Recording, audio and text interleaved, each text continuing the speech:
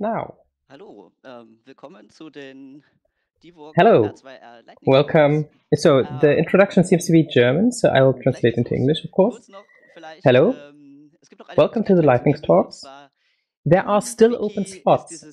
Exchange So, verlinkt. Da dürft ihr In the wiki, there's the gratitude exchange, ihr irgendwie and you can write in Ähm, wird die nachher whatever you're grateful for, and that will be read out machen wir das einfach so, later. dass die Vortragenden sich, äh, Other than that, äh, the speakers will sie dran just sind. Und wenn sie dann dran sind, be machen sie sich, dass man um, without äh, sehen und hören kann. sound, so they'll be Ähm, muted, and without auf das wir ganz picture, as long as it's not their turn.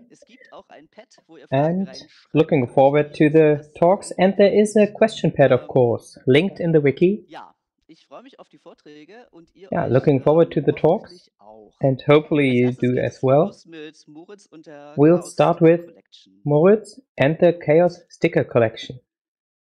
Hello, Moritz. Hallo Ben, ich hoffe, du hörst mich. Hello, Ben. Ich äh, stelle jetzt einfach mal Hopefully you can hear me.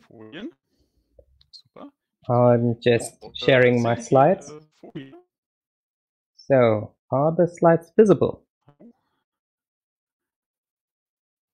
Keine Folien? No slides yet? Ah, Ich sehe sie hier, aber wird Ah, angezeigt. Okay. yes, there they are. Ja, jetzt sehen wir sie auch. Okay. Now we can see them. Gut. Okay. Dann fange. Hallo, ich bin der Moritz. Äh, ich Hi, I am ein Moritz. kleines äh, I wanna erzählen. Talk to you about a small project of mine, and it seems like we lost connection there.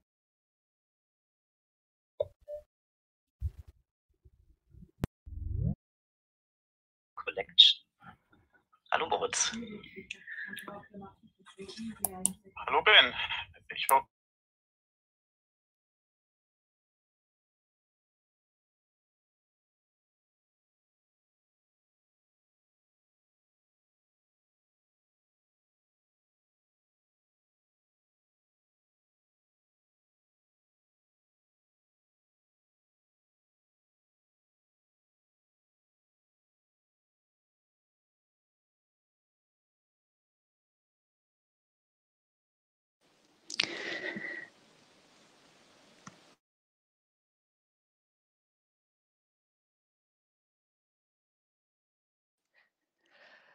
Also aufgrund der Tatsache, dass Moritz anscheinend eine schlechte So, Internetverbindung hat, due to ähm, technical würde ich jetzt difficulties, einfach apparently a bad internet äh, connection, ähm, I would ähm, suggest that we just und Moritz mal sein skip to the next talk. und ähm, wir das Moritz reboots his connection and we try again afterwards. Ähm, das wäre also Thies mit Copycore und Popculture. So that would be Thies with copycore and pop culture. Ja, gut. Hallo, ich So. heute über zwei Problemfelder aus Musikerperspektive Hello, sprechen. I wanna talk to two problems betreiben und für die ich from The perspective of musicians, where I see need Welt angemessene Antworten zu finden. to find appropriate Äh, Ich- nach Verbündeten zu entwickeln von solutions, and I am looking for people helping me ein Problem dabei. developing those solutions.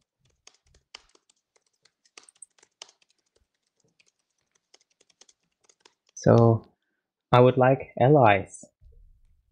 And again, we are fighting with Ähm, slight technical du bitte deinen difficulties. Ausmachen, damit wir Thies auch sehen können? Yeah, okay, we had to end the screen share there.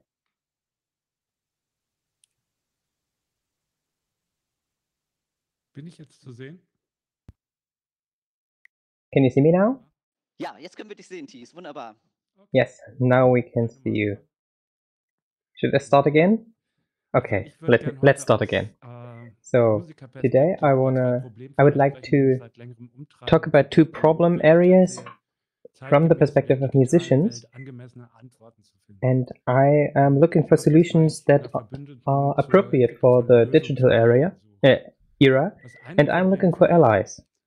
The one problem area that I can see at least is Ähm, copyright. Das sich im Verlauf des 20. Jahrhunderts zu einer And during the 20th century. Dazu, it um ein developed, well, sorry I didn't quite get that, but it developed badly, I would assume. To encircle it a bit, I want to talk about the history entfaltet hat. Also bis during, that happened during the 20th century. Up until begrenzt 1920s, music was hardly protected. sich dann mit der industriellen But that changed with the industrial Noten und Tonträgern, revolution and when it was possible to use machines to distribute both the notes and the papers and printing, but also automated drei Jahrzehnte des pianos. And during the first three decades of the 20th century, up until the 1960s, the runtimes for beziehungsweise griffen nur, wenn musical die jeweilige An Arbeit auch properties were rather short. registriert wurde. Das heißt, ganz and you had to register for your work to be dann auch wieder protected. frei zugänglich, weil And after that, it was freely available. And also, if nobody registered it, it was freely available. eigentlich so in den From the 70s, industrialisierten Ländern eine in most industrial nations, there are die so mehr oder weniger mit verschiedenen regionalen Unterschieden eine Laufzeit there are um, nach Tod des slightly differing rules, Das ist schon between the nah, muss man countries, sagen. Also, es ist but it's mostly around 70 years after the death of the author, and that is quite a long time. Urheberinnen ihre Werke ähm, So the author zu ihrem Tode nutzen können und can use their work as they see fit until their death, and Kinder davon was haben also können, aber darüber those who inherit those rights should profit from it. Fall problematisch. Das ist natürlich But after that, I think it's quite problematic. And of course, ähm, the distributors die nicht die Musiker and those who Komponisten und Texter sind, use those rights, who are not composers or artists themselves, sagen und sicherlich they profit verknüpfbar, aber vielleicht gar largely. nicht unbedingt das And of course, we could shorten the times, but maybe that's not even the most difficult part of it. Before the digitization, a lot of things were forgotten and verglichen und so vieles wieder in Fragmenten ganz um, natürlich in neue Musik music got lost. And of course, Das war damals there was new music that got influenced, and back then niemand hatte mehr it was normal. Nobody knew where some idea came from and what belonged to who and what could be copyrighted or what could be in the public domain because people forgot about things. Anders aus. Die gesamte Today, it's ist verfügbar und quite different. Everything is available and everything entsteht so viel is yeah. wie nie zuvor in der Menschheitsgeschichte. present for people and at the same time as much music as never before is created, which is good, but with the runtimes of the copyright, everything that is possible, everything imaginable, will at some point be copyrighted. Technically, that's already the case. des Anwalts und Musikers Damien Riehl, der There is a lawyer and musician who 2020 went ahead and just exemplifiziert und registriert hat. Dazu gibt es created algorithmically everything that you could imagine. den kann man vielleicht noch mal And there's also a TED talk about this. And I will mache ich dann gleich. post a link to this in the pad. Ähm, And since then, technically everything that you can imagine is copyrighted. The second area I want to talk about it uh, about is the practice of streaming. So, 90% of the money made is made by streaming. Most platforms uh, use a per rate system. So everything is collected, and depending on how many streams in total you had, you will earn a lot. And who already earns a lot gets more, and who is listened to the least gets less. That's similar to the when you are at the music shop and you're the price is depending on how often something was bought. Well, not the price per se, but how much money the artist gets. So it could be differ, uh, different. It could depend on how much the listener is really listening to. If I am only listening to one artist, then this artist gets all my money for the month. But of course, there are shareholder interests that are against this, and there are four big uh, multimedia companies who really have other interests as well. And big lobby uh, alliances who have interests, and that circles back to copyright, and they try to keep this running, the system. And a lot of things that are established already, they try to give them further, further reach. There is political will for reform, and in Britain there is parliamentary uh, action happening. But of course, the politicians don't really know what they're talking about, so it's troublesome. My question for the community what are your ideas to handle this? Would it be possible to have different platforms, to develop platforms yourselves or ourselves that are more fair? And how could an open source principle for this look like? Whoever would like to participate in thinking about this can feel free to contact me, and that's basically it. Thank you. Wunderbar. Vielleicht magst du äh, noch in Great. Uh, perhaps you also want to write into the pad or the wiki how you can be reached if people want to contact you. Genau. Oder auch dein Link da. Yes. And also cool. put your link in there. Great. Das Pad ist hier nicht im Chat, ne, sondern das Pad ist das Pad ist auch im Wiki verlinkt. Das Pad ist auch im Wiki verlinkt. Beim Fragen stellen. The pad is also linked in the wiki, where you can ask questions. Genau. Ich sehe jetzt Great. keine Fragen im Pad an Thies, von daher würde ich I vorschlagen, dass wir mit dem nächsten see no questions in the pad, so let's continue with the next talk, Search Engine Archaeology. Vielen Dank. Hey, Uru. Hallo, willkommen zu meinem Hello, welcome to my presentation. I hope you can hear me. I'll show my screen. soll es bei mir um, um Suchmaschinenarchäologie So we will talk Ähm, about the archaeology Ähm, of search engine, uh, about me. I, it's a small hobby. Ähm, Um, you can reach me with this email address, and I'm member of a uh, Ähm, uh, of the real ROM hackerspace. Wörtern, So first of all, um, there are two words: search machine Programm zum Erschleichen von archaeology. Dokumenten, die in einem A search engine is a program gespeichert sind. Hier ist ganz used to find documents on a computer or allgemein computer network. Um Documents are ist für uns general. It's not only about HTML, but. We want ist natürlich die to find documents finden wir overall. The question is how ähm, can we find uh, documents? ähm, For example, oder gefunden. Wir suchen einen Fisch, uh, der kein I- Lachs ist und im Norden we are looking for a fish that's not. Ähm, uh, hier soll eigentlich ein and, and that's north in the UK, and here there Um, should be a QR code.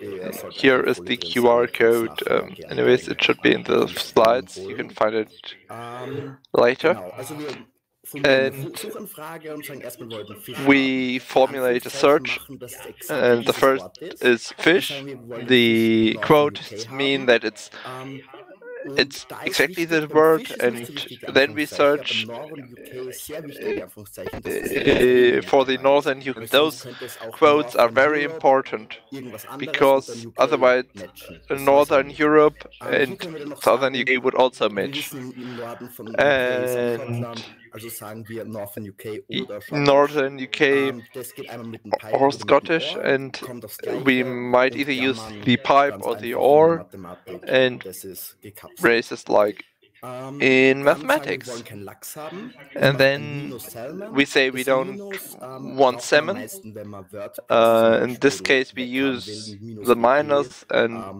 uh, nervige it's commonly used to reduce WordPress. ähm, Ergebnis hat, das man And weghaben will. Und or perhaps you have an annoying in search result you want to weil ref- das eine gute remove. And then we say jetzt nicht zum we want to use Wikipedia. If you search it, you will not find northern fish, ähm, but a weil nur weil musician who is shot Scotch. Because only because you are able to write a good search können wir erstmal query does not mean you will Ähm, find a good result. Da habe ich einmal So let's continue to archaeology. bisschen übersetzt. Archäologie ist Uh, the English Wikipedia uh, it durch die says Erbe und Analyse it's von materiellen Kulturen. the Ähm, hier geht's mir persönlich the study of human um activity through the recovery and geht's eher die analysis of m- material culture. It's not about the analysis, but it's Ähm, but but mal. finding the, the, the, the, the, the document items. Search management archaeology is if we use search engine to find digital culture. A well-known example is Minecraft, and um, perhaps you have run Minecraft or played Minecraft, you could write that into the IRC, and a Minecraft server has document config files, whitelists, banned players, and operators. And that knowledge can be used to search for Minecraft servers. We can go to Google and then find Minecraft? and we are looking for op.txt or JSON and we require the, the title that there is index of. That way we find auto indexes. And now we have a list of Minecraft servers that are publicly available. And now we could go here and download the world and perhaps look at player data. Where are the enemies? Uh, which equipment is used? Or we download the map and play there because it's fun. And that way we can find a number of different things. And the large limit is the, the own creativity rather than the search engine. Thank you. Ja, vielen Dank für deinen Vortrag. Es gibt tatsächlich Fragen, und zwar behauptet der Vortrag. There are questions. Um, the uh, is that just one search engine or multiple? Sometimes it works in others. It works best with Google, but yeah. I tried to search with different search engines, but I got significantly worse results, which is quite sad. wie es mit Suchmaschinen jenseits von Google aussieht. Yeah, what's about search engine outside of Google? Thank you very much for your talk, and you left contact data if people want to have further information, they can contact you. And I'll also write them into the pad. Thank you. All right, then the next talk is Licenswend by Better Lars. Hi, I'm Better Lars. Um, I would like to rant about, in this talk, I would like to rant about that licenses are no use to anyone. So, we have a legal situation where everything that is artistically created is something that, in theory, only I am allowed to use. And uh, only I and my heirs are allowed to use it because the copyright protection lasts until a point much after I have stopped existing in this universe. And that I just find completely inappropriate in the general sense already. And we urgently need a reform there that somehow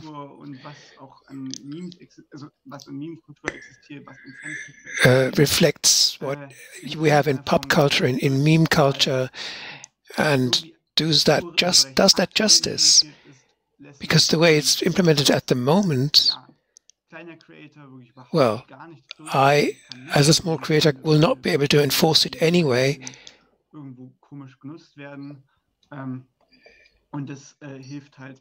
And that is only of help to monopolies that have the might to push through regulations that even, or copyright for projects that even in the American sphere would be classified as fair use. Um, but what may, many people don't realize is that Creative Commons has its problems too. Creative Commons has many different licenses where I can state in what way I allow my works to be used.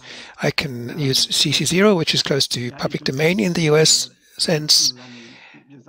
And I can stipulate that people tell that I was the creator. I can stipulate that it should not be commercial. And, and many people forget uh, that if they use a work, they should link to the license as well. That is part of the conditions too.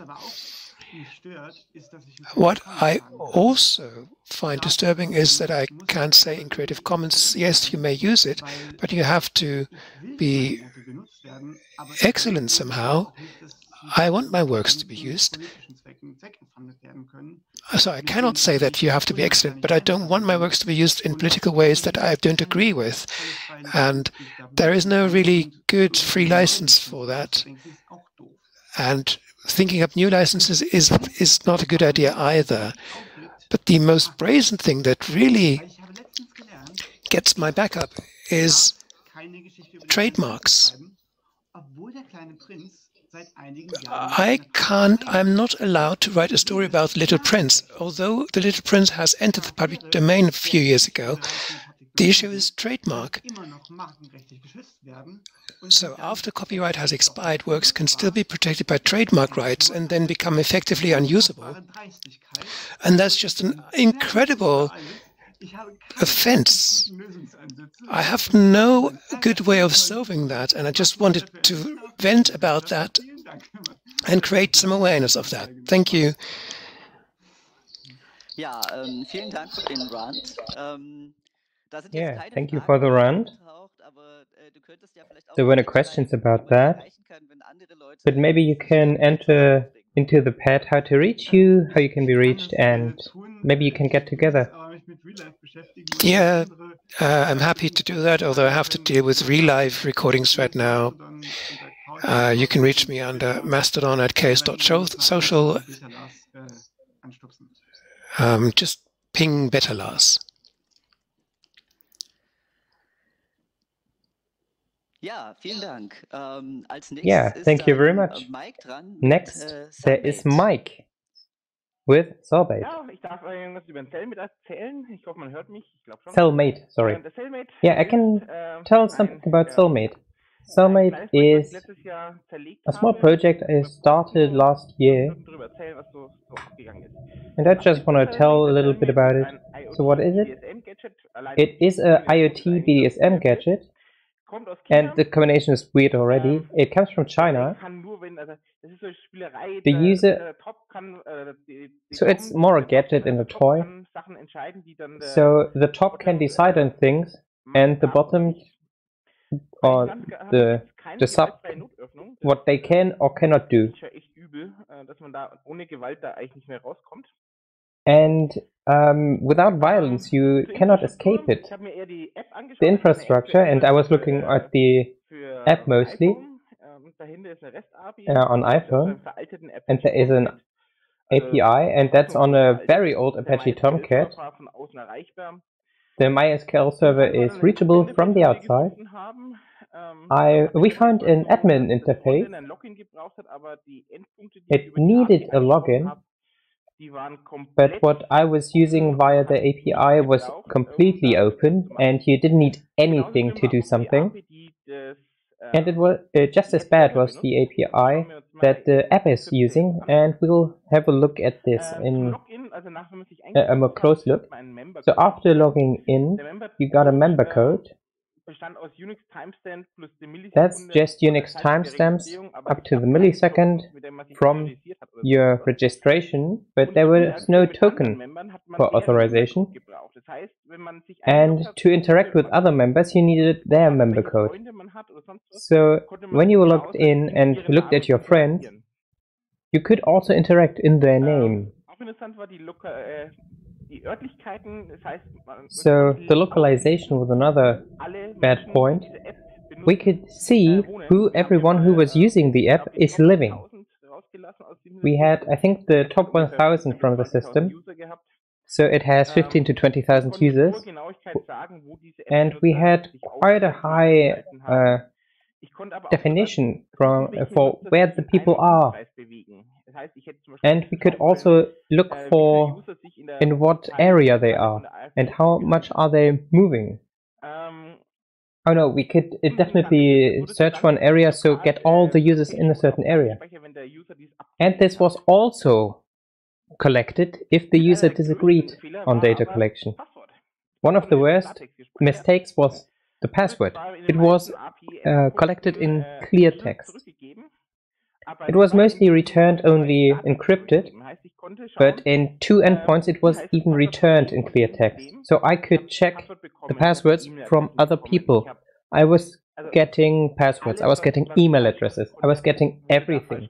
And they did everything wrong they could have done wrong. And after contacting them for the first time, they removed it from one of the endpoints, but the other one still provided it. So on the 17th of May, we worked together with Internet of Dongs uh, the producers of the sex toy, and we were talking to them, emails, but then there was nothing. Then in June they uh, closed the API, but on Twitter we um, by accident noticed that other pentesters are also on this. So in September we were coordinating with those and in October we were publishing our research. I am linking it in the in the pad because it's very interesting to read. And in the end it really got published in the PB, uh, BBC even. So BBC, The Guardian, Heise, CNN, a lot of big media, and people really noticed this. And then black hats got onto on the case and started uh, attacking people, and only then did the producer react helped uh, attack uh, users that got under attack and deactivated the holder function so everyone can open the cage. And now there is an open, a new app. And it actually was pen tested properly. And that's basically it. Ja, vielen Dank. Um, yeah, thank you very much. Very nice. Do you maybe want to link to your blog entry as well? Yes, I will. Great. Other than that, there are no new questions. Thank you very much. Ähm, und mir kommt jetzt die besondere uh, now we have a special honor. I'm allowed to read the gratitude. Others people thought about this, but I was asked to read them. And now I read them. I'm grateful that Linda from Brainpoodle created a great merge and we had so little work. Thank you, Linda. I thank Benjamin to, for the creating of the pets of for the uh, organization. Thank you. I thank Piku for the great museum tour. I'm grateful that there are these great people that give up their free time to create this great event.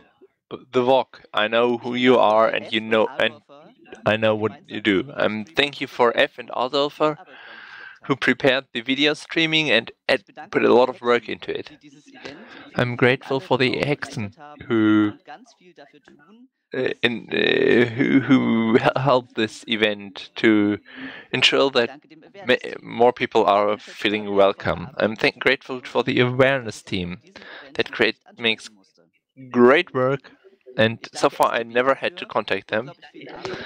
I'm grateful for STB who did a lot of work for nearly everything on the event and how much time he spent to make ensure that everything is helpful. I'm grateful for Mr. Capture to create that many meeting places in the wiki. Thank you for Emilia who found the code names game and participated at the beatbox workshop. Uh, sorry for mispronunciation of names. Thank you for the large amount of talks in the main program and I got in touch with subjects I'm not uh, interested. Uh, I, I never met before. Thank you very much for the Hexen and their inspiration and their queer program. Christina, especially for the great talks. Thank you, Christina and Julia. Uh, uh, thank you for Sandra and Olier for their great heralding. And I'm grateful for the charmant and moderation for the Rico talk and I did not do not know who you were. I like the names of the hexen. Thank you for everybody who created these great maps. Thank you for Starpeak for the Easter eggs. Thank you for the world. Thank you for the Fahrplan. Thank you for the people who welcomed me in every session. Thank you for Dikira for the integrative actions. Dear community, despite us all being so tired, it worked again. This small Kernelemente und Infrastruktur des DiVOC gesteckt haben, kommt spontan eine Explosion an Karten, Features, Self-Organization. Thank you for all those who created all the small, small items that made the world effect, uh, unique for the community. Thank you, Kuchen. Thank you, Hasen. Thank you, everybody. Thank you to the community who all are part of those who create a contra image to the world outside where so much goes wrong. We hope that we can take the energy we experience here to update the world outside. The community as a refuge, but also as a place to get energy to move the world outside ahead. Thank you for the opportunities that to, to move in unknown areas and learn from one another. In the CCC, there are so many inspiration sources that are visible in events like these. Thank you for Telegnome for all the small, thousand small and large things. Thank you for all the beings who we don't notice, but who fix all the small bugs here and there. Thank you everybody for the sessions and the uh, uh, relaxed acceptance for, of new people. Thank you for the Hexen who announced all the program on Mastodon. Thank you for everybody in the stream for watching. Without an interested audience, everything would be quite boring. Thank you for the logo generator. Thank you for all the delivery item, uh, drivers who did not participate in the event, but still gave us something, delivered us something to eat. Thank you for this new event that uh, brought us great time. Thank you for the OBS introduction. Now I also have a flying rocket and the image and discovered a great new tool to work with. Next challenge, the deep deck sub from Pecto and Bambi for the next event. It works. Thanks for the team of c3lingo to makes this event uh, available for foreigners. Thank you for everybody who participated and helped that this and future.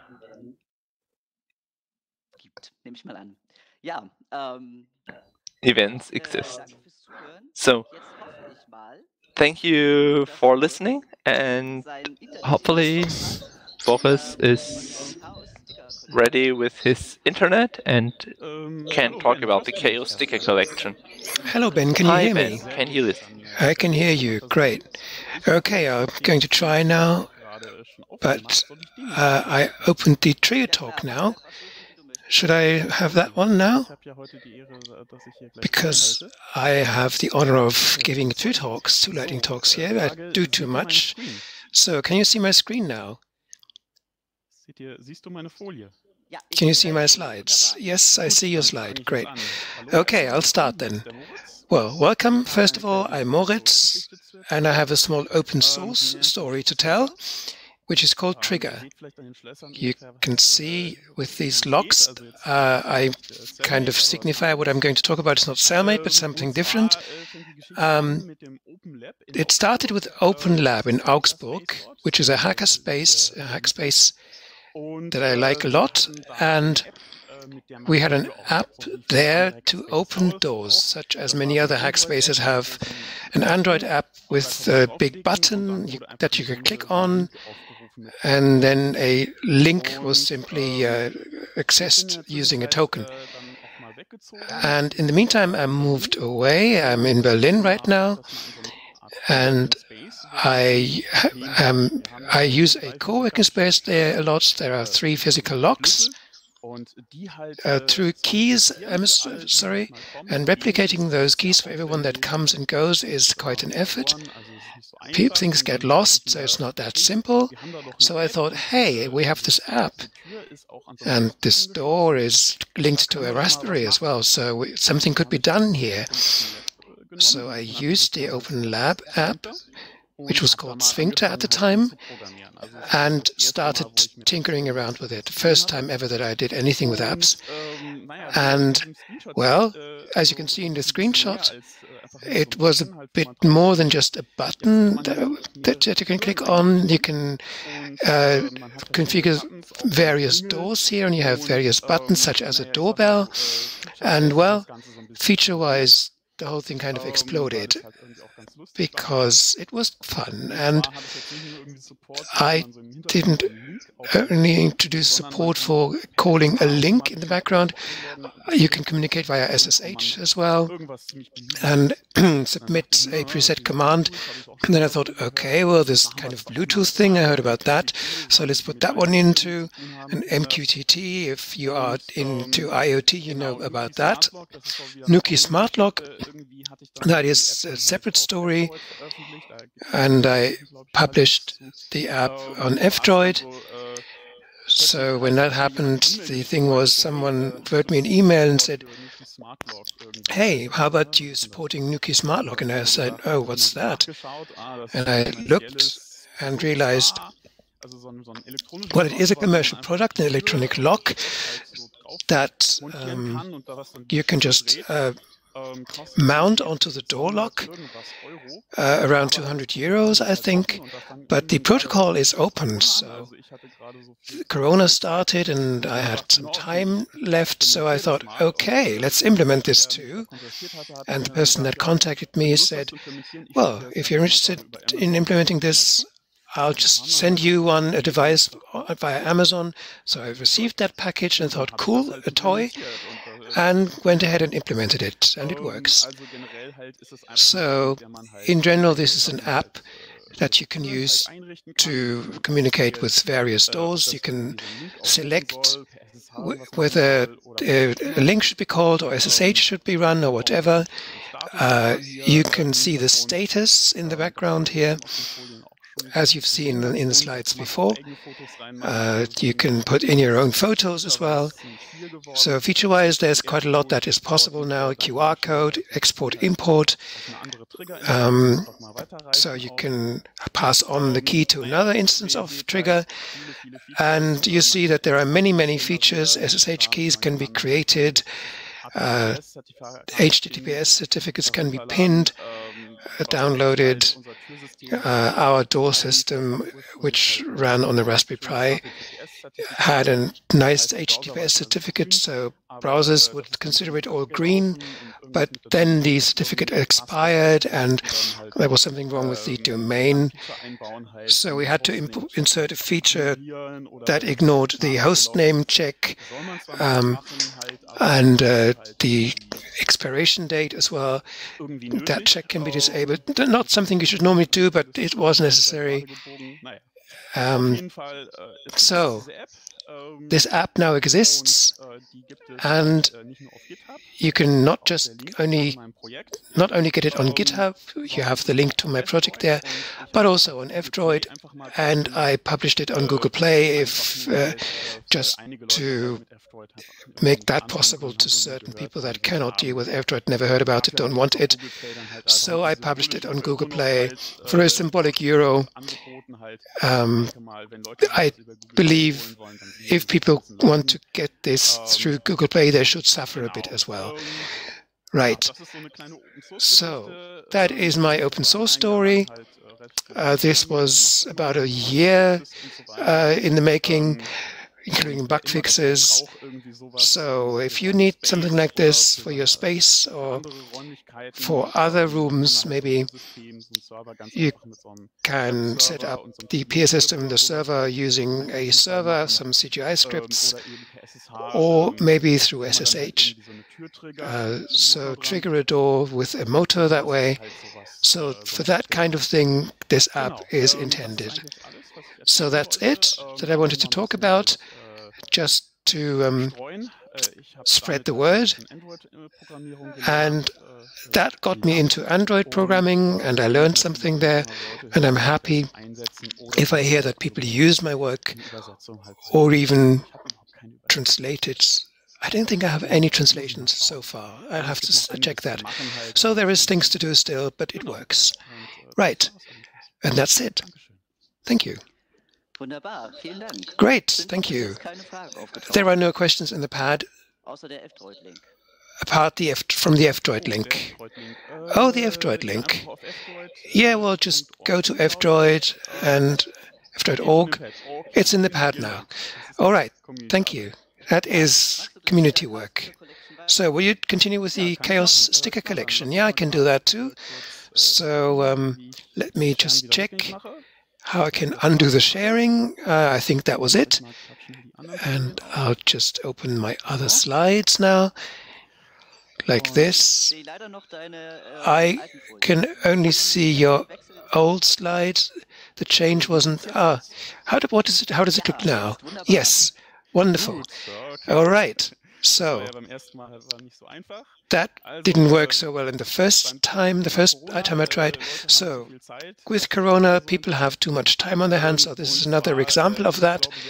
Uh, and I believe that we all know that uh, these sticker events feature many boxes full of stickers, and you grab them all and put them up and, and, and stick them.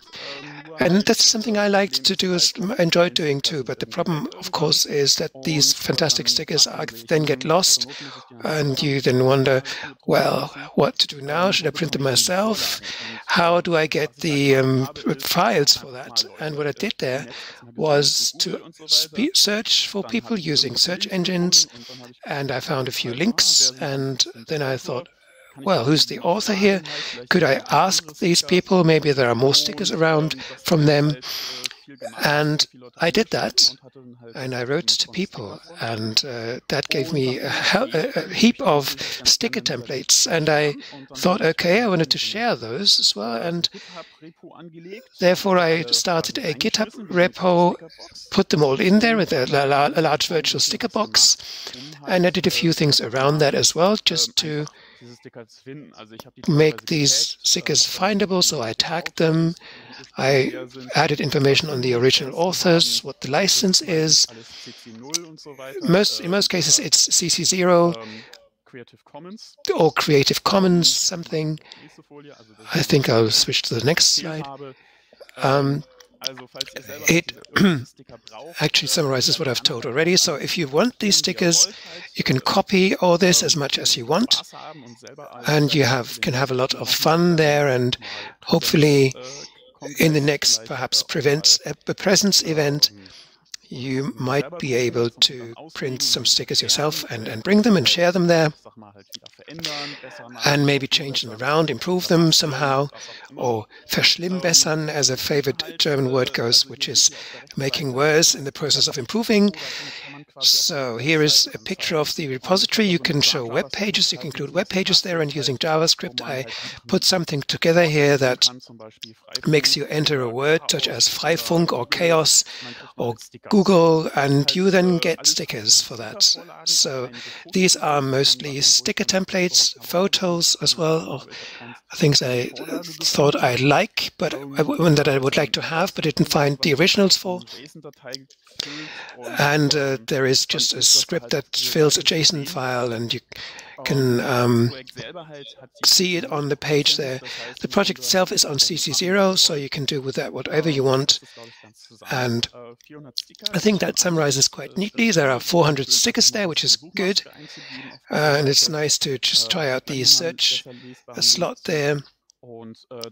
And just have a rummage around, browse it, see some older stickers. These are all previews, but if you click on files, you can go to a folder that and a, directory that has all the templates in various formats that you may repurpose, change colors or whatever. Uh, and of course, there's a lot to, to be done still. First of all, call to you if you have sticker originals or know anyone. Uh, uh, if you have bookmarks, perhaps send them to me and I'll try to in incorporate them. Uh, just submit a merge request, maybe uh, copy it for your own purposes. The licenses for the images, in case you want to use them, are mostly CC0 or Creative Commons, but some have no license information because I don't know. If you do know about a certain image, please let me know so I can add the information. And uh, so this is a call to all of you. And yeah, more stickers, please. That would be great. It would be great to surpass that 400 threshold. I think I'm just below that right now. So send me stuff, have fun, print, just use it for something. Great. Thank you. Thank you. The GitHub repository has now been entered in the pad. There are no further questions.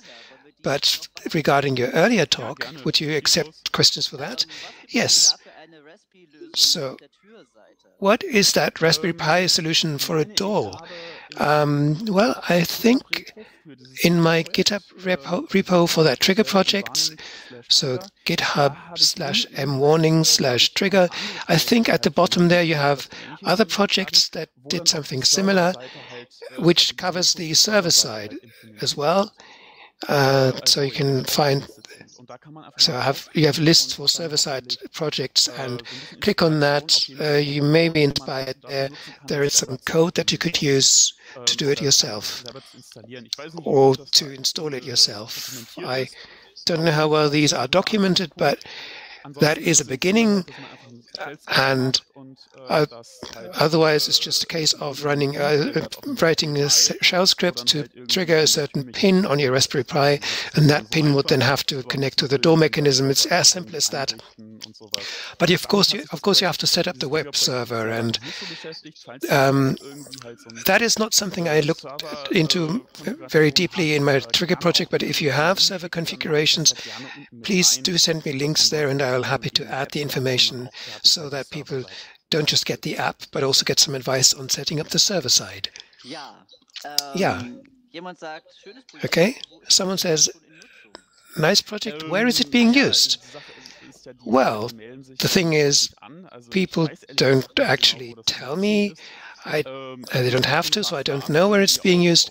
There are some stars on GitHub that people have given me 50 or 60, so I suspect that it is being used. I did hear from some people that they are using it, but I haven't got the detailed feedback, not a lot, but it's nice to hear if people use it. So again, I'd be happy to just be given a hello. We are using it in city XY or in this hackspace. Uh, that is the kind of love that you can give to developers to tell them thank you and uh, your work is being used, it works, or just forking it, merging requests. If you find a typo somewhere, um, if you want to implement a certain feature. For those that are more into Android programming, yeah, so that's what you could do. Okay. Regarding the stickers, the, we have a question now. Are the stickers available on Signal as well as Signal stickers? Well, the Signal stickers, I don't know Signal that well, so I don't know what stickers for Signal actually means, whether they use for, uh, their own format. I, I have no idea. The answer, I guess, would have to be no. And there is a comment saying that the year of occurrence would be interesting as metadata. Oh, that is difficult to get that information. Um, I collected all these within two months largely, uh, in retrospect, as it were, and the year of appearance. There is a lot of things that could be done in looking after the metadata there. Yes, and another bit of information, the Chaos Communication Congress does have a sticker group, um, and I was in touch with them. Very nice. So hopefully they will be using some of my work, and um, I hope that they will be happy about that. Okay, thank you very much for your talks. So, on to the next one. Photovoltaics. Are you there? Yes, great. Go ahead. Yes, I'm here. Hello. So I have to activate my screen share first. Where's that again? Anwendungsfenster machen.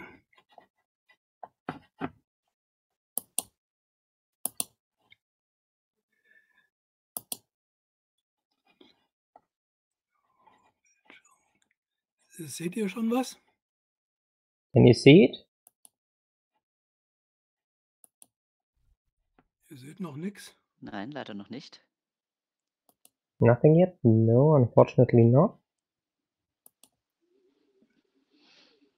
Wieso seht ihr da jetzt nichts? Ach Gott, ich bin ja doof. Why not? Ah, of course. Silly me.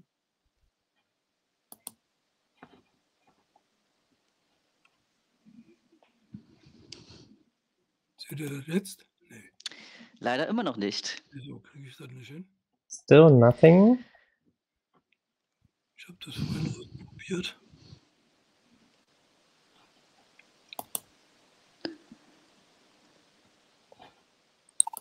Ich breche das erst nochmal ab.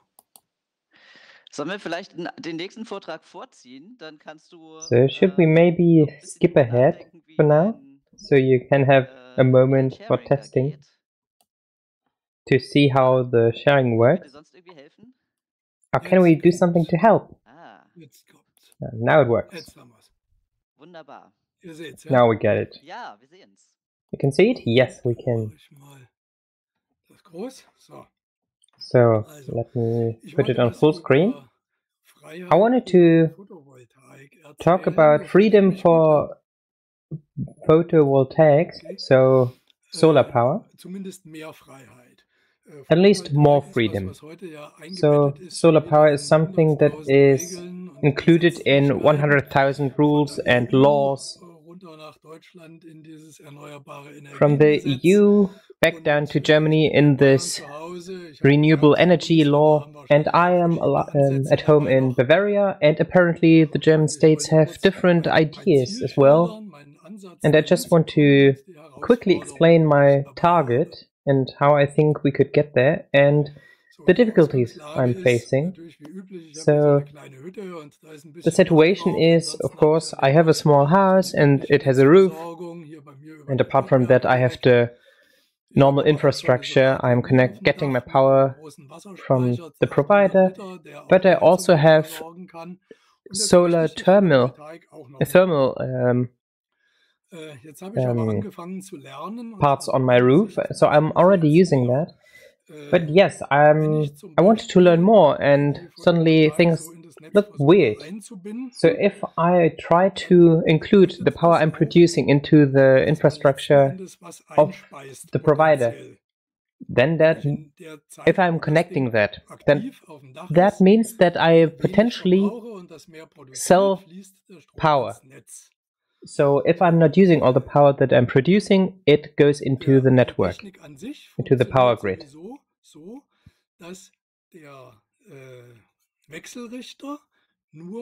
So in theory, uh, in practice, it actually only works, it only creates uh, AC power if it's connected to the grid because it has to synchronize.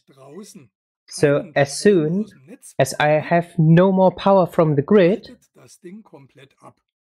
the device, my device, completely turns off. So in that moment, when I really need the power, I'm not having any. And of course, it has to be said, if you are selling to the grid, you get money. And so the provider is then expecting the full control over everything that you're doing, how everything is installed, how much is installed, and all the interfaces, everything. And that's that's where it gets difficult because I think sun shines for everyone on this planet, and I should be allowed to use it as I see fit. So my goal would be. Yes, sorry. So the slides are still on the first slide. Could you see uh, check if you could? Yeah, nope, I did. So something is wrong with the slides. We cannot see the progress. Okay, so now we are there. The goal. So full screen did not work out as it should. So I was talking about this, this slide, you couldn't see that? No. But, well, now we can. So yeah, we have the provider, the 800 liter storage for thermal solar. And as soon as I want to enter the grid, it gets difficult. And now I want to use my limited group. It's not perfect for me. I have a southeast and northwest, and the roof is not flat at all, so I can't use it for much, but I want to do a little bit. And of course, I especially want, what I already said, I want to use the solar power when the grid is, has a blackout. But that does not work, but because in that moment, when the grid drops out, the AC power from my system drops out as well.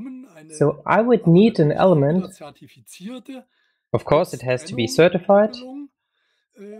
Some coupling that connects and also disconnects my power from the grid so that it can also function when the grid drops out. If I completely disconnect from the grid, I also want to be free from control. If I'm not selling anything, nobody has to control me. And of course, they uh, actually they say, yeah, that's possible, but the technology behind it does not exist. So my idea is that in the first step, I want a Guerilla uh, solar power element. It's a very small module. It can at most have about 600 watts of power. And then you do not have to register it.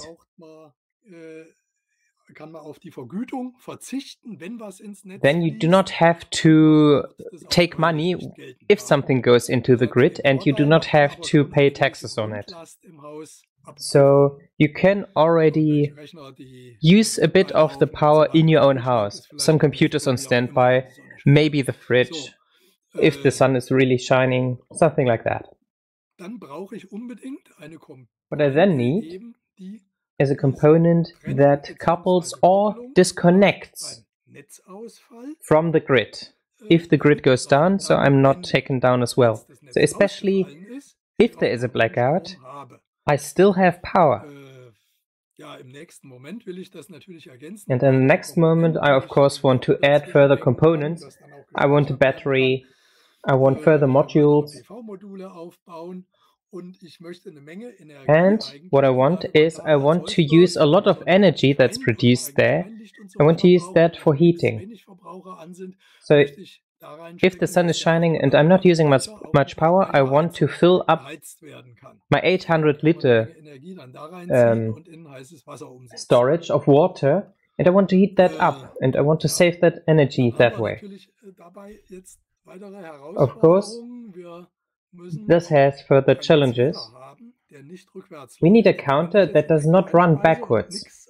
So if I am giving power to the grid, then the, the old power counter, it runs backwards. But it must not be like that by law. So of course the provider, I have to talk to the provider and they have to build in uh, a data logger basically that does not run backwards, which adds further cost, but apparently it's not that expensive.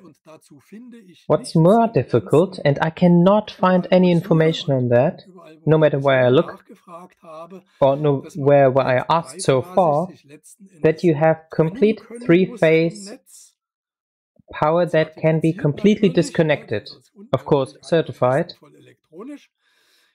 and fully automated ideally, if there is a blackout, that you only use your own power for your own house. And as soon as the power is back, it's synchronized again and you can get power from the grid again. Such a solution would be necessary and it's possible, it's, it's not witchcraft, but you cannot find something like that. It's not wanted. I am guessing it's lobbying people who keep that from happening, from entering the market. And that's bad because we want to use our energy.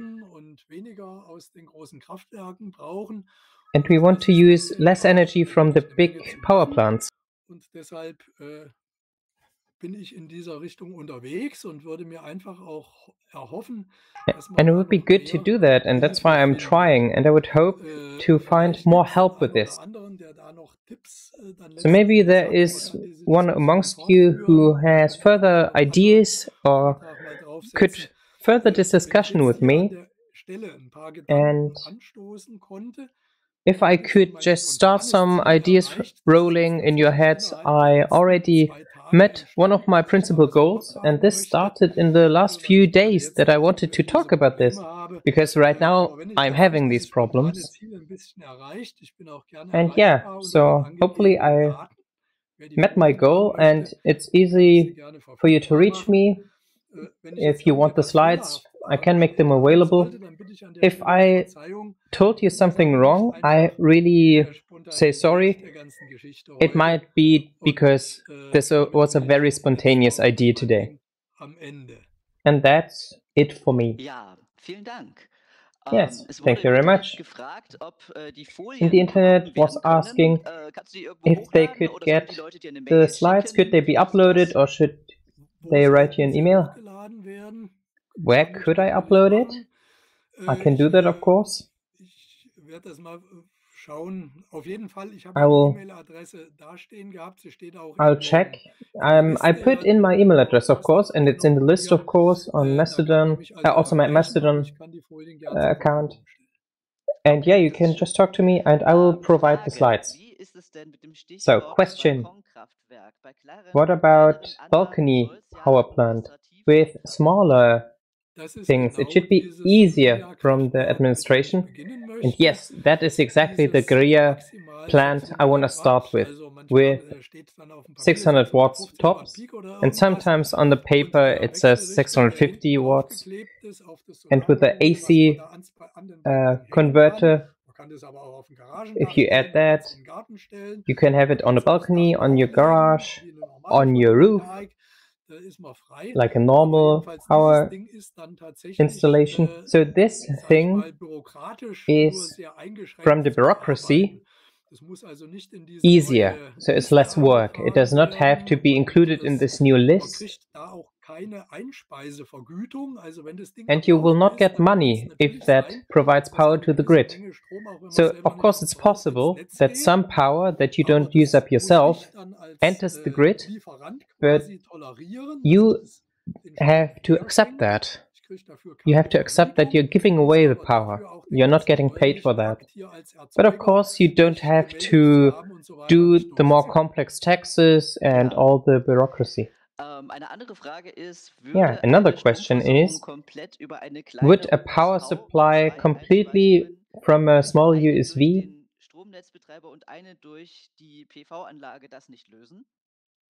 with uh, two supply, wouldn't that suffice?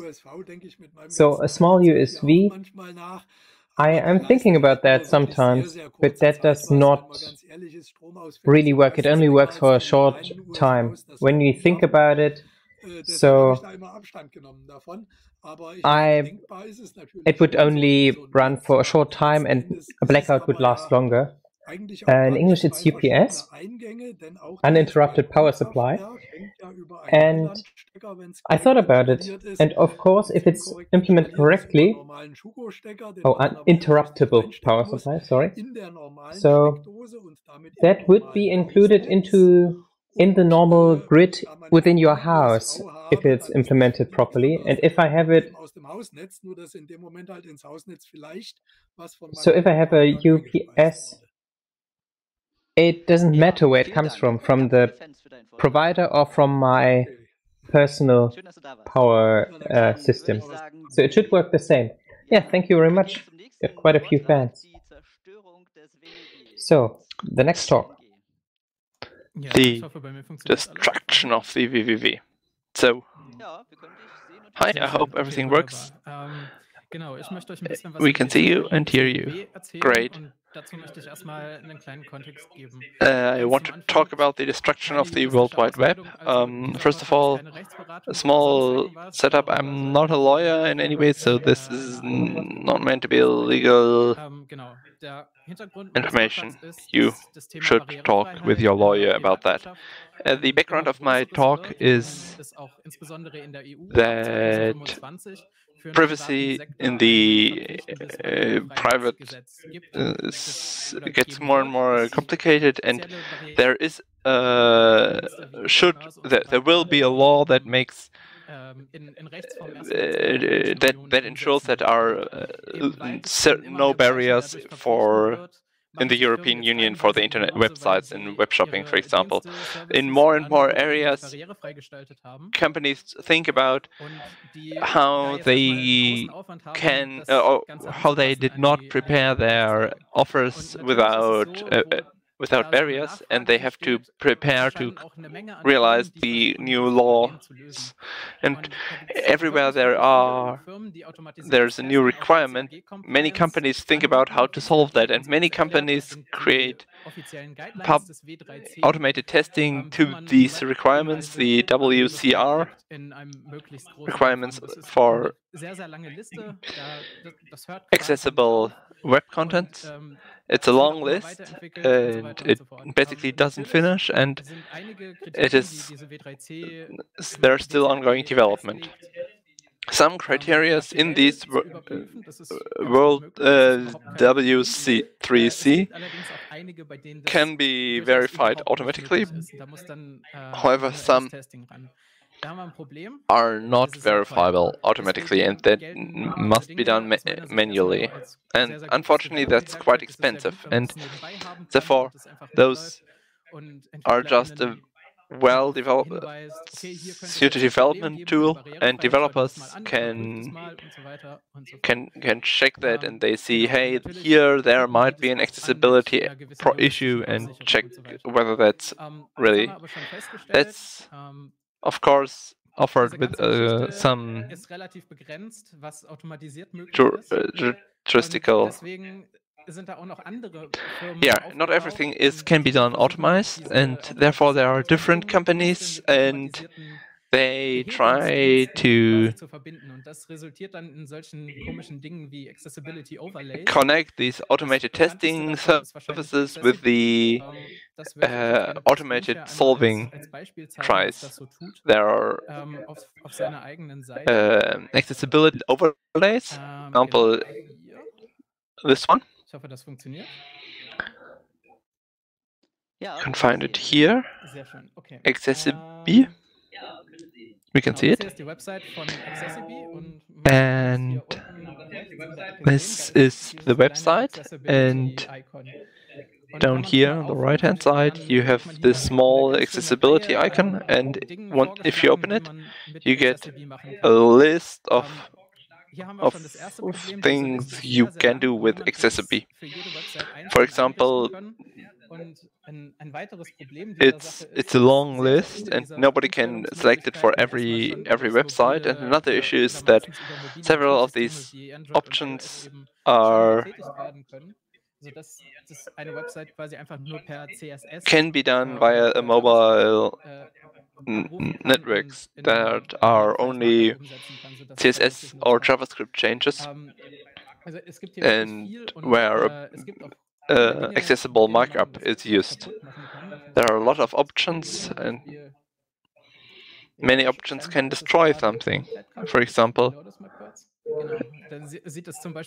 currently it's completely broken. Yes, it looks like this and um, that's the next step. These accessibility overlays usually destroy several things quickly and nicht tragbar, dass, dass solche Dinge passieren, aber das ist gar nicht mal die Hauptsache. Das sind so Sachen, die sind durch den User steuerbar. That should not be access uh, acceptable, but that's something the user can control. However, these the companies that offer these services always talk about AI and offer screen reader support, keyboard navigation, and all the other accessibility features that are required. But what they do is sometimes really bad because that way pages are completely unusable sometimes and lose all structure because that AI tool does not understand what happens on that website, what is offered, and what the context is. Um, another interesting issue with accessibility is that the, the tools require that you have a compliant site before you can include this tool and if they are legally required. There are a different number of uh, problems they have there are a number of different offers. Uh, in the question page, there is an interesting blog post from by Adrian Roselli, who is an accessibility expert, and so look look at all the issues and don't use those services, but sit down and look it look into accessibility if you need to update your services. Yes. Thank you for your presentation. Put your put that into the pad and for Chaos Zone the Inclusion Operation Center exists where you can get help if your operation center has um, questions about accessibility on the web. Great, there are no further questions. Uh, so we will continue to the next talk. Thank you very much. Uh, jo, um, dann yes. Hello. Let's share the screen. So take digital politics seriously for once. I want to talk to you for five minutes and give you an overview um, over the formal structures of Hamburg. So let's begin. We got the executive, the legislative, äh, and of course the judicative, but for us now it's not as relevant. So the executive is headed by the first mayor, and of course there are senators as well, and each of them has their own office or the uh, com so yeah, he is heading them. The German word is Senatskanzlei. So, yeah, it's not necessarily a bad thing. So there is one guy who is responsible, and if some other uh, a department wants to do something with uh, digital works, they know who to talk to, and they can just say, "We want to make a project. We want to something for the for civics, and we want to adjust software." Everything is coordinated there. So that's not necessarily a bad idea that everything is in this uh, office. And there is someone who's actually competent, you might not believe it. But now the problem. And I have to talk about the legislative. So we have the Parliament and the Senate. And there is a, a plenum, of course, with a lot of smaller groups who work with topics of the EU or different specific subjects. So we could now think, well, Hamburg, there is quite a few um, universities or colleges uh, with computer science. So do we have one of those working groups talking about digital topics? So they could provide tools and have proper protocols where the Senate has to explain to the public what's happening after each meeting. Is everything running as expected? Just like all the other uh, working groups have it. And then there's a committee, that's a pr proper word. So this committee could um, make suggestions and others, but we do not have that in Hamburg. So basically, there is no one in parliament who talks about digital topics. There is an undercommittee, but that's very specific about spending. And it cannot talk about things on their own accord, but they have to be told what to talk about and what to investigate. And so it's very limited. So what options do we have for corrections for digital politics during this um, term? Well, there's not much we can do. Every five years there's a vote, there's an election.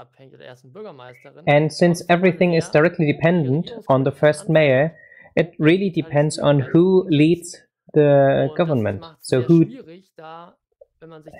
who makes decisions.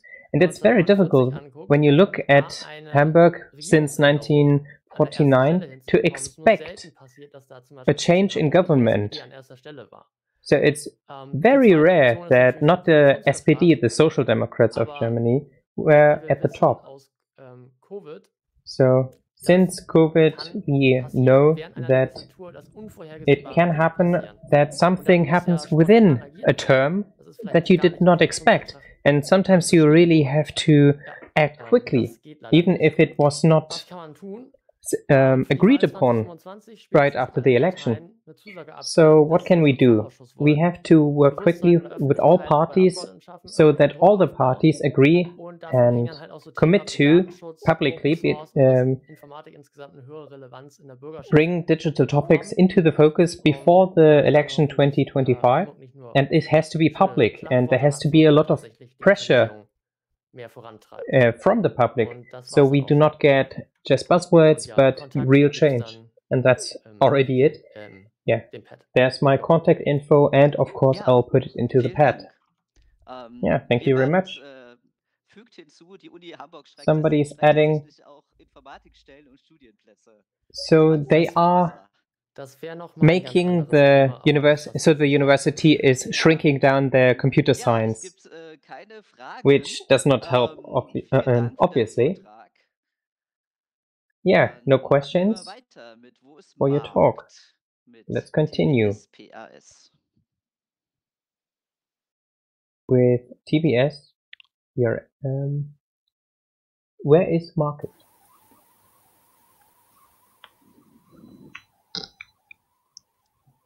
So, äh, siehst du schon meine Folien oder siehst du nur mich? So.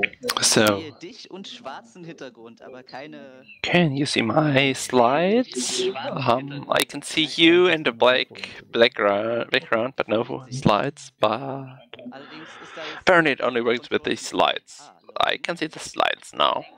Jetzt, wunderbar. Okay. But they're loading. Yeah, no, great.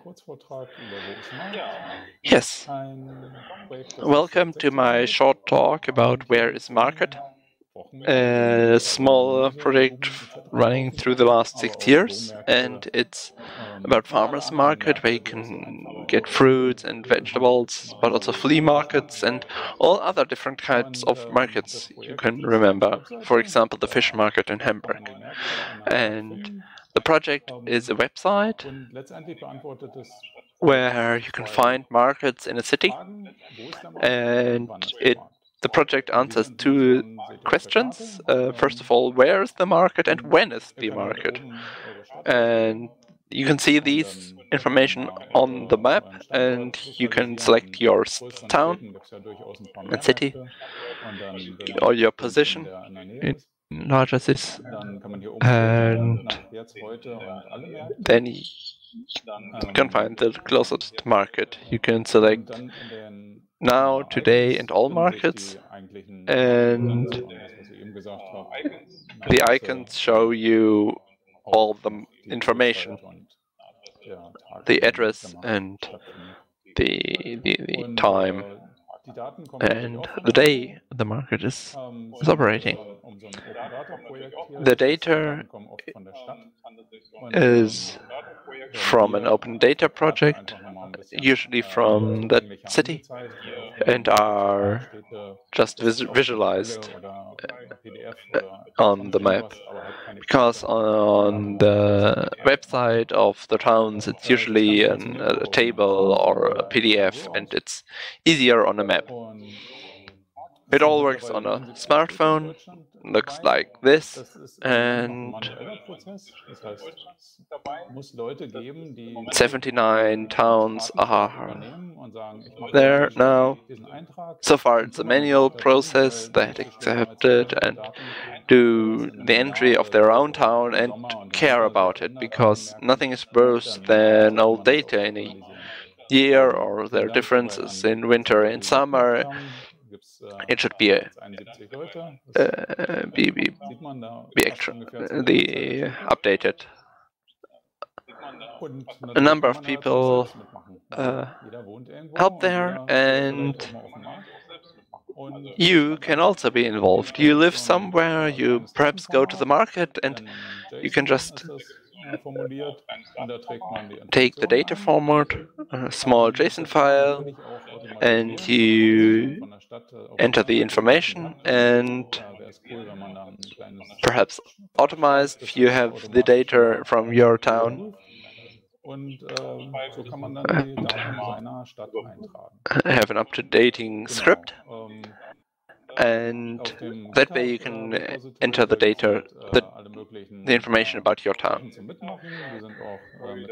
The GitHub repository has all the, the necessary information to participate, and not only writing new software and design, but you can also participate in the website itself, but you can only also only just add the data.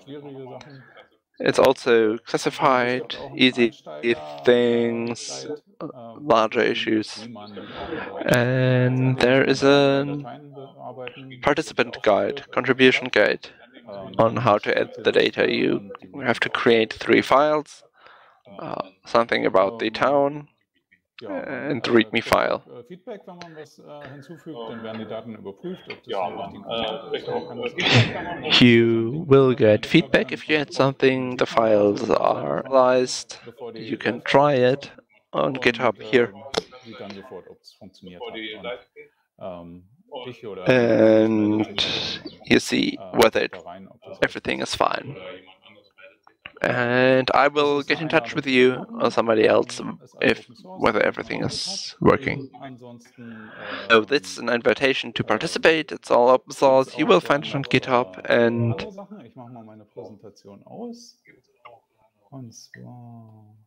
there are a couple of different. Uh, ja, du bist zu sehen. Genau, es gibt auch dieses formschöne T-Shirt, das kann man sich auch gerne. You can probably see me. There is this beautiful T-shirt you can create yourself. Or, uh, there is a vector graphics on the GitHub, but you can even get a sticker like this. They, I had 5,000 printed, but there are still a couple left. So call me and I will send them to you. Or you print your own. The uh, everything is available. I saw that there are questions in the pad and I tried to answer them. Um, the question for OpenStreetMap and an integration into OpenStreetMap, we tried that, uh, we discussed it before, but nobody worked at that. It would be great to have the data, not only in this project, but to update that with OpenStreetMap and check whether they are working together and how to update them. That also helps to have more cities involved. And the other question is uh, about usability. Can you create a town with a city with several cities included in one? Because um, that's also something we worked on. Uh, there is a, a pull request for that or a branch. Letztendlich ist es, äh, liegt es daran, dass genau. einfach noch niemand yeah. gemacht hat. Ähm, wir brauchen für das Projekt And finally, yeah, nobody did it so far. So this, we need partners for the different towns. So if you want to uh, add the data of your town, you're welcome to. Uh, there are a couple of, of, of code improvements possible. Yes. You're welcome to, to participate. I think there is another question. Yes. Thank you for your talk and for answering all the questions, but we have to finish now. Um, all uh, presenters are invited to wave to the camera if you want to. And thank you for the presentations. And thank you for the viewers and all of your questions. There is a short break, and at quarter past four, there is a talk about critical infrastructures by HonkHase. Have a great DiVOC.